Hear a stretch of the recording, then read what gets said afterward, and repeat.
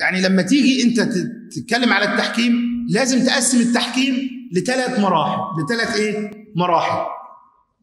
المرحلة الأولى ما قبل بدء الإجراءات. قبل بدء إجراءات التحكيم. في حاجة سابقة على الإيه؟ على هذه الإجراءات. يعني نفترض إن الدعوة مرفوعة قدام المحكمة.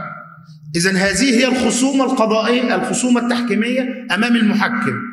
في حاجة قبل الخصومة التحكيمية؟ والخصومة التحكيمية نفسها اللي هي إجراءات التحكيم وما فيها من قواعد وما بعد إيه؟ وما بعد الخصومة التحكيمية أو ما بعد صدور حكم الإيه؟ حكم التحكيم. المرحلة السابقة اللي هي اسمها اتفاق التحكيم، اسمها اتفاق الإيه؟ التحكيم. واختيار المحكم، اختيار مين؟ المحكم، يبقى دي المرحلة الأولى. تم الاتفاق صحيحا وتم اختيار هيئة التحكيم ندخل بقى في الخصومة اللي هو طلب التحكيم وإجراءاته ثم صدور الإيه؟ الحكم. بدي المرحلة الثانية في الإيه؟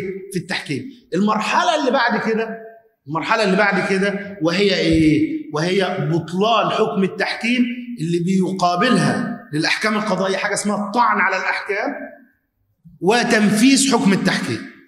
وتنفيذ حكم الايه التحكيم. يبقى مرحلة ما قبل بدء الإجراءات مرحلة الإجراءات والخصومة والحكم مرحلة ما بعد الإيه؟